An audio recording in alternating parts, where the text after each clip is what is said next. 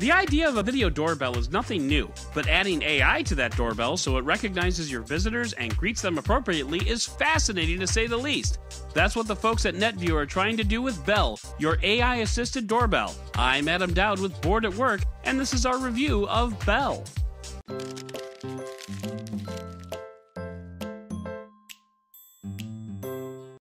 Starting off, having a video doorbell is pretty awesome and addictive. Being able to whip out your phone and see what's going on outside your house is great. Seeing who is at the door before you even get up from your desk is better. Actually, having a conversation with the person standing at your door while you're at your daughter's gymnastic class is epic.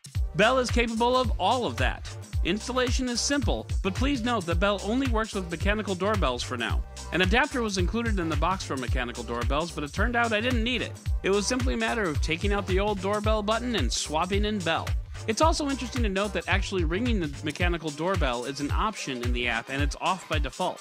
Connecting Belle to Wi Fi was challenging. You enter your Wi Fi password into the app and it gives you a barcode, which the camera scans. We found out the hard way that too much background sun makes this near impossible. We had to wait until closer to sunset to get the barcode to read correctly.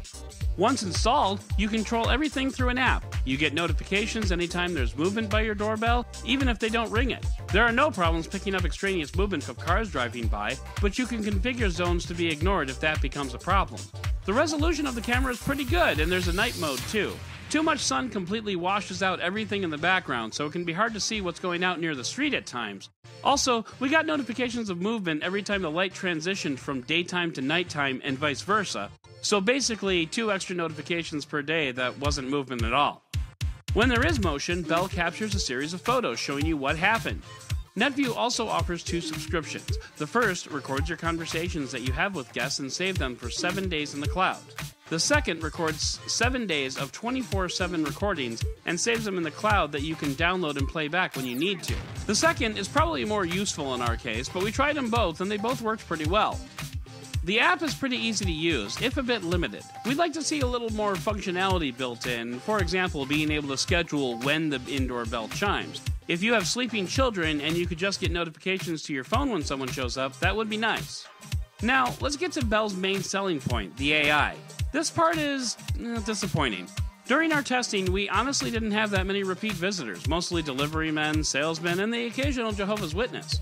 So Belle's key feature of being able to recognize repeat visitors and greet them wasn't really put to the test, except I rang my own doorbell often and never identified myself as an owner. As far as Belle knew, I was just some dude who came over a lot, but it never recognized me. Plus, the greeting that Belle gives you is improperly delayed. When you first ring the bell, Belle says, I'm coming. And after a pause, it says, One moment, please. And then after another pause, she finally gets around to, Hi, I'm Belle, what can I do for you? Maybe Netvue is trying to make their AI seem like a real person, but I'm coming and one moment are completely unnecessary. The whole point of an AI assistant is to do things for you, and I can make my guests wait for an awkwardly long time. Belle shouldn't have to. Ding dong, hi, I'm Belle, should be the recipe going forward. Plus, I want my artificial intelligence to be, you know, intelligent. Delivery guys come up, ring the bell, drop the package, and leave before Belle even has a chance to say anything. But despite the fact that no one's standing at the door anymore, Belle continues to try to ask who it is and then rings the owner. Not smart. Finally, and your mileage may vary on this point, but man, Belle is laggy. Conversations between you and a person at the door have about 5 to 10 seconds of latency. Now, there's probably not a lot that can be done about that, to be perfectly frank, but it's not our favorite. Perhaps more stringent connectivity requirements should be there to make sure Belle has a good signal as it needs to operate properly. But anyway, let's wrap it all up. If you're looking for a video doorbell that allows you to see what's going on in front of your house, offers 24 7 monitoring, and can enable you to talk to your visitors even when you're not home, Belle does all of that, but so do a lot of others. But Belle's main selling point here is the AI, and on this, Netvue has a lot of work to do before it works as advertised. All that being said, if you're Reggie and you're there to pick up Martin Lawrence's daughter for a date, you'd probably rather deal with Belle than Will Smith.